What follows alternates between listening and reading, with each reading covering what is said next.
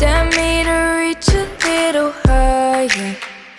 You can dare me to step over the edge. Hola a todos, ¿qué tal? El vídeo de hoy una recopilación de mis truquitos de belleza sin los que no puedo vivir y los cuales me salvan la vida muchísimas veces. Y además os quiero enseñar unos productos que me han salvado la vida últimamente con un problemita de pelo que tenía. Así que nada, si queréis conocer mis truquitos de belleza, pues sigue viendo el vídeo que empezamos. Hace unas cuantas semanas os comentaba por Instagram Story que tenía un problemita con mi pelo y todo esto surgió a raíz de que me hice un alisado de queratina. Desde que me hice ese tratamiento notaba que me picaba mucho el cuero cabelludo, notaba descamación e incluso me había parecido caspa lo que es en raíces y demás. Y desde entonces he probado como dos champús de dos marcas distintas y ninguno me ha dejado el pelo completamente sin caspa y sin sensación de picor. Y además me notaba el pelo como apelmazado, sin vida, sin volumen bonito. Notaba el pelo como apagado, como triste. Así que si me visteis en Instagram Story, viste que os pedí consejos y opiniones sobre diferentes tratamientos, champús y demás. Y me aconsejasteis muchísimos productos, pero el producto y la marca que más se repetía era de la gama El Vive. Y como caído del cielo, unos días más tarde llegó a mi casa este paquete de El Vive de L'Oreal. Y como veis en la cajita venía el tratamiento completo de la gama Phytoclear del Vive. Lo que más me llamó la atención de la gama Phytoclear es que es un tratamiento anti-caspa pensado para mujeres o para hombres que tienen el pelo largo, ¿por qué no? Ya que va a eliminar lo que es el picor y la caspa del cuero cabelludo, pero al mismo tiempo nos va a dejar pelazo. Nos va a dejar el pelo con vida, con movimiento, con volumen, un pelo bonito, sano y lleno de vida. La gama completa de Phytoclear está libre de silicona, lo cual me llamó mucho la atención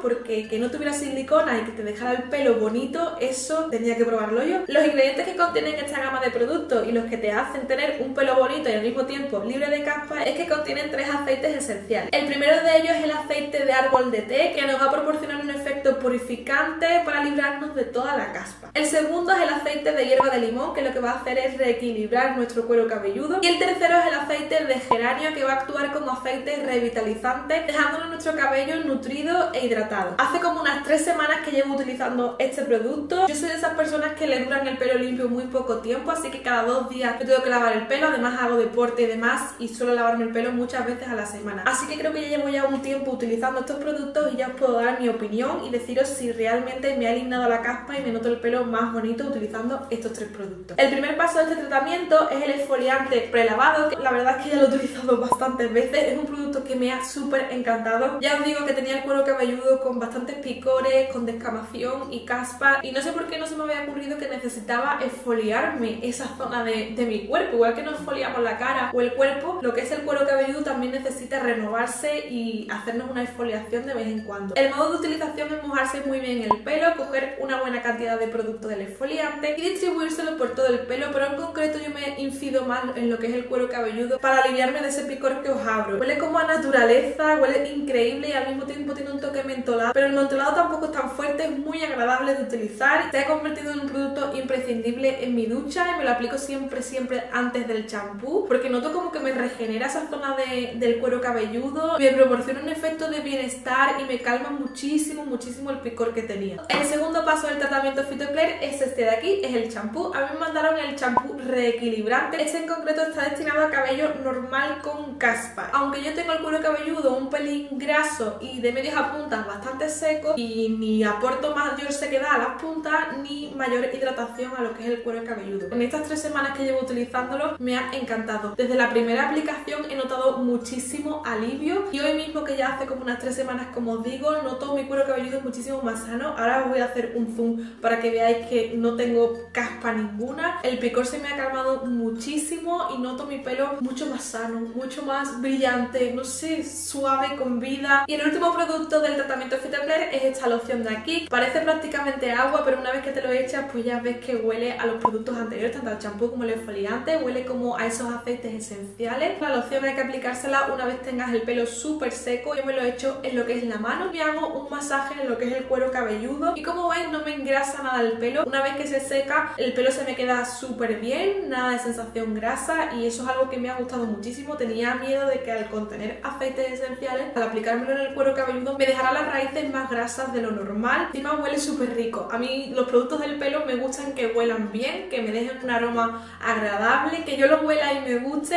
La marca L'Oreal El Vive la podéis encontrar en muchísimas perfumerías, supermercados y demás, así que en cuanto se me terminen volveré a reponerlo porque además de precios no están nada mal. Una semana os pedí consejo en Instagram Story y me recomendaseis productos para librarme de la caspa y el picor y, muchas de vosotras me dijiste que si encontraba algún producto, algún truco o algo para librarme de esta sensación, que os lo contara, quería compartirlo con vosotras porque verdaderamente son unos productos que me han gustado, que me han cambiado por completo la salud de mi cuero cabelludo, que me noto el pelo muchísimo más bonito. Y como desde L'Oreal me dieron la oportunidad de probar esta gama de productos y contaros mi opinión sincera, pues tenía que compartir con vosotras que estos productos han cambiado por completo mi pelo, que me lo noto muchísimo mejor, que los picores han desaparecido por completo y que la caspa se ha esfumado. Así que como ya sabéis que yo solamente os enseño productos que realmente me han funcionado y que me gustan, pues tenía que contaros esto. Y siguiendo con mis trucos de belleza, el segundo de ellos es cómo conseguir un eyeliner perfecto, sobre todo los días que tenemos el pulso para tocar pandereta. Así que mi truco estrella es ponerme un trocito de fiso de washi tape justo por debajo de la línea inferior de pestañas. Si trazamos una línea desde aquí, nos tiene que llegar justamente al final de la ceja. Y una vez colocado bien el fiso, mi truco estrella es coger sombra negra, un pincel biselado y trazar como un esquema de donde yo quiero realmente que vaya el eyeliner. Y una vez trazado la guía del eyeliner en sombra, voy a coger mi eyeliner en gel y un pincel biselado y voy a repasar el eyeliner donde yo he dibujado con sombra. Una vez hecho esto, solo tendríamos que quitarnos el fiso, quizás pues si nos hemos manchado más de la cuenta, retocar esa zona, limpiar esa zona con un poquito de corrector clarito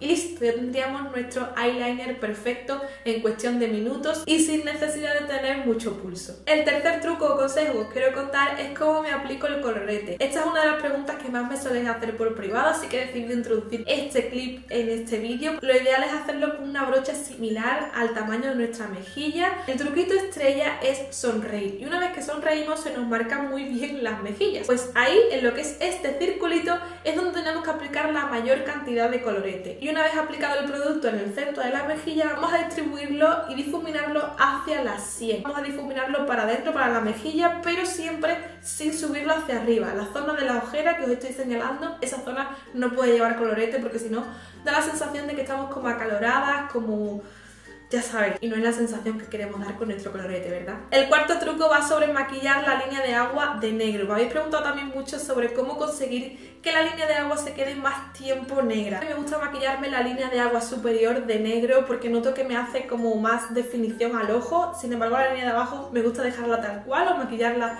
de un color clarito para proporcionar un efecto de ojos más grandes. Y para conseguir que nos duren muchísimas horas intactas maquilladas, lo que podemos hacer es maquillarla con un graso, es decir, con un lápiz negro, con un eyeliner negro y luego sellar ese producto graso con una sombra negra o bien con polvos translúcidos. Pero otra forma de maquillarla es simplemente maquillarlas con sombra negra directamente con un pincel pequeñito y sombra negra y así de estas dos formas vamos a conseguir una línea de agua negra durante horas, horas y horas. Los siguientes dos trucos que os voy a contar va sobre labios. El primero de ellos para conseguir unos labios lisitos, sin pellejos y sanos. Y para conseguir esto ya sabéis lo que hay que hacer, ¿verdad? Hay que foliarlos de vez en cuando.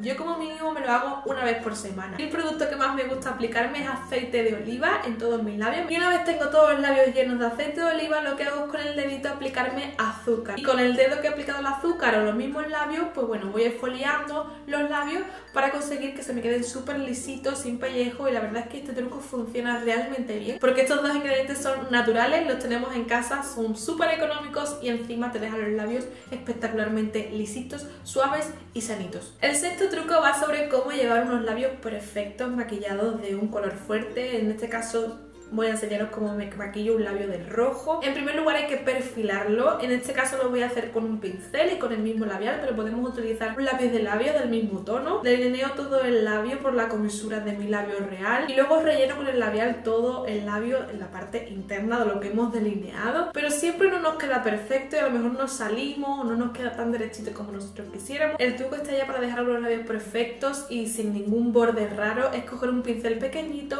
y la misma base de maquillaje que hemos utilizado o un corrector, delimitar con la base todo el labial para crear pues bueno, una línea perfecta y que esté todo bien maquillado por esa zona y con estos simples pasos pues podemos conseguir un labio perfectamente maquillado. El siguiente truco va sobre los pelillos sencillos que se ponen aquí alrededor o abuelillos, lo llaman en algunos sitios Bueno, pues yo tengo muchísimos de esos pelitos pequeñitos para tratar de disimularlos al menos durante un tiempecito y para conseguir que el pelo se quede tal cual pero los pelillos se queden un poquito más aplastados, pues yo lo que hago es aplicarme la laca directamente en las palmas de las manos. Hago un poquito de frotamiento palma con palma y con la laca que me ha quedado en mis manos pues voy aplastando los pelillos esos pequeñitos y odiosos para conseguir que se queden un poquito más domados, más aplastaditos y más situados donde nosotros queremos. Y lo que son las raíces se nos quedan sueltas con movimiento, con un aspecto normal, nada pelmazado que si nos pusiéramos la laca directamente pues en las raíces, en esos pelillos. El siguiente truco va sobre cómo eliminar las manchas de máscara de pestaña. Uno de los últimos pasos siempre suele ser aplicarnos la máscara de pestaña. Y si nos dieran un euro por las veces que nos hemos manchado el párpado, la ceja, el párpado inferior, incluso las sienes,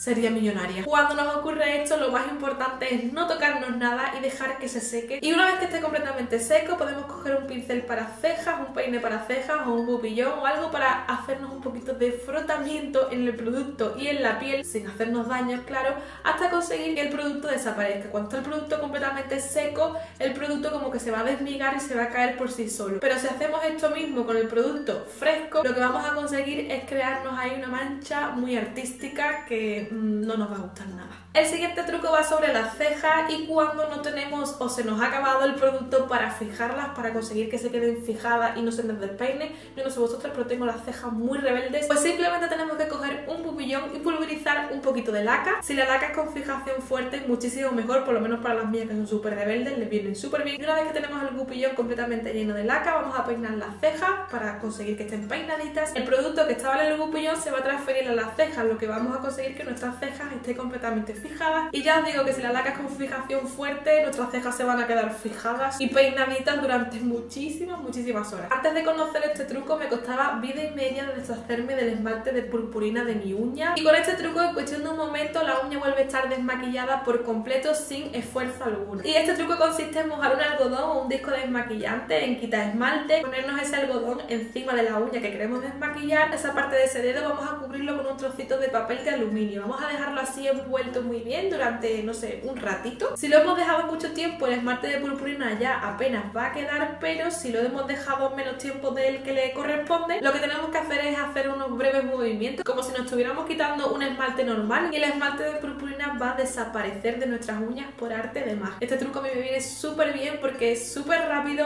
y no tengo que frotar tanto y la uña no va a sufrir para nada. Y el último truco que quiero contar es uno de los mejores y desde que lo pongo en práctica ha cambiado totalmente mi rutina de limpieza de las esponjas. Cuando tenemos las esponjas manchadas de maquillaje, yo antes le daba muchas frotaciones y las llegaba incluso a descuidar y a partir antes de tiempo, pero con este truco la vida de las esponjas la verdad es que se alarga notablemente unos cuantos meses más. Y este truco consiste en mojar la esponja con agua del grifo normal y luego lo que hago es aplicarle el jabón con el que yo lavo las esponjas y las brochas de normal. Lo aplico como dándole un breve masaje por toda la esponja para que toda la superficie de la esponja tenga como jabón. Y una vez hecho esto voy a coger un recipiente, lo voy a llenar de agua calentita y voy a sumergir la esponja dentro. La voy a aguantar para que esté completamente sumergida durante medio minuto, un minuto, cosas así. Y una vez pasado este tiempo lo que voy a hacer es escurrir la esponja y enjuagarla de manera normal. Y haciendo esto vais a ver que la esponja queda súper limpia, sin rastro de maquillaje, sin apenas esfuerzo, como habéis visto. En cuestión de un par de minutos está la esponja súper limpia sin haberla frotado en ningún momento. Y creo que ya os he contado todos mis trucos de belleza. Espero que os haya gustado el vídeo. Si es así ya sabéis, darle a me gusta que es súper de utilidad y así veo yo que os ha gustado este tipo de vídeos y me animo a seguir haciendo más vídeos de este tipo. Ya sabéis que me encanta leer vuestros comentarios, así que decidme en los comentarios si conocéis alguno de estos trucos, si los ponéis en práctica, decírmelo también en los comentarios y si vosotros tenéis vuestros propios trucos de belleza que os gustan, que os funcionan y que os facilitan la vida, pues también decidlo en los comentarios porque ya sabéis que los truquitos así pues nos facilitan mucho la vida y nos ahorran muchísimo tiempo. Y si es la primera vez que me has visto y te ha gustado este vídeo y quieres seguir viendo más, pues suscríbete al canal. El botoncito está aquí abajo es completamente gratis y así no te perderás ninguno de los próximos vídeos que vaya a ir subiendo. Y nada más, florecillas, muchísimas, muchísimas gracias por verme y nos vemos pronto en el próximo vídeo. ¡Hasta la próxima!